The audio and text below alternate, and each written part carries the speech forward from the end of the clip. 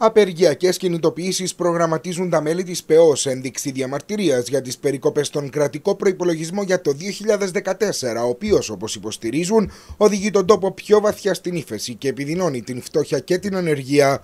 Μετά τη σημερινή συνεδρία του Εκτελεστικού Συμβουλίου της ΠΕΟ, ο Γενικός της Γραμματέας Πάμπης Κυρίτσι ανακοίνωσε ότι τα μέτρα θα οριστικοποιηθούν σε σύσκεψη που θα πραγματοποιηθεί αρχές της επόμενης εβδομάδας. Το Εκτελεστικό Συμβούλιο αποφάσισε να αναλάβει πρωτοβουλίες και μαζί με άλλους συνδικαλιστικούς και κοινωνικούς φορείς να οργανωθεί μαζική και ενεργητική αντίδραση για αντίσταση του λαού σε αυτή την αδιέξοδη και καταστροφική πορεία.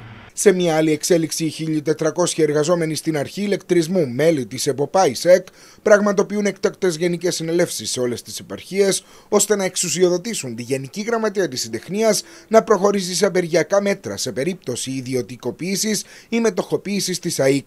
Ο πρόεδρος της ΕΠΟΠΑ ΙΣΕΚ, Ανδρέας Πανόρκος, εκφράζει έντονη ανησυχία για το μέλλον του ημικρατικού οργανισμού. Είναι θέματα που πέραν, όπως σας είπα, επηρεάζουν την οικονομία του τόπου, επηρεάζουν δραστικά και την αξιοπρέπεια μας και τι θέσει εργασία μας.